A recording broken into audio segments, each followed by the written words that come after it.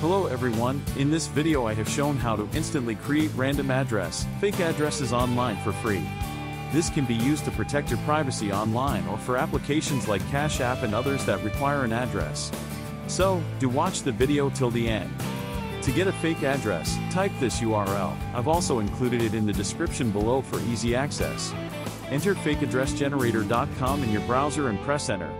You'll see a display like this, showing details such as full name, gender, SSN, and address information including street, city, zip code, and more. I believe they offer random addresses for 120 countries. By clicking on all countries, you can access a fake address for any country of your choice. Another cool feature of this site is the filter options. For example, if I want a male identity with an address in California, I can select those filters and the site will provide an address matching my criteria. Additionally, this site provides real addresses as well.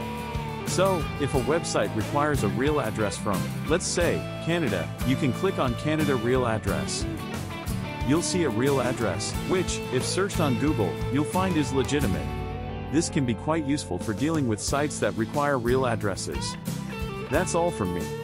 I hope this video was helpful, and if you liked it, please do subscribe and leave a comment below. Until next time, peace.